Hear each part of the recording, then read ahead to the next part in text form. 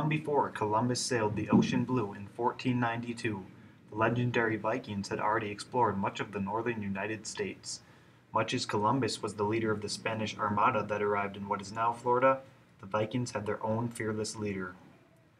Prince Henrik, son of King Torbjorn, was this Viking legend.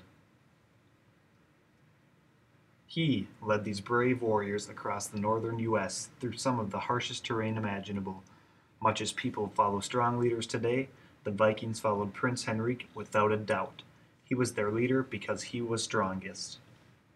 During the polar vortex of 1475, Prince Henrik did what he could to survive, but ended up perishing due to an undiagnosed lethal infection.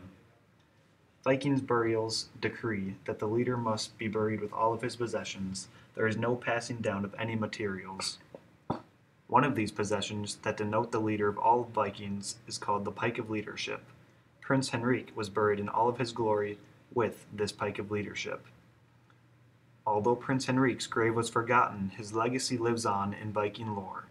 In 1920, a few archaeologists associated with UWL were digging near where the ropes course is located by HHS. They stumbled upon the burial site of Prince Hen- Henrik. Upon exhuming the grave, they discovered Prince Henrik's ancient pike of leadership and willed it to HHS. Once thought to be lost forever, this pike returns to you modern day Vikings in the audience. Who amongst you will take over this pike of leadership?